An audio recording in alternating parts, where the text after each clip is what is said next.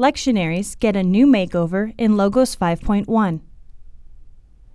Clicking on a lectionary from the home page now opens a full layout with multiple Bibles, commentaries, and resources to help you get more out of your lectionary studies.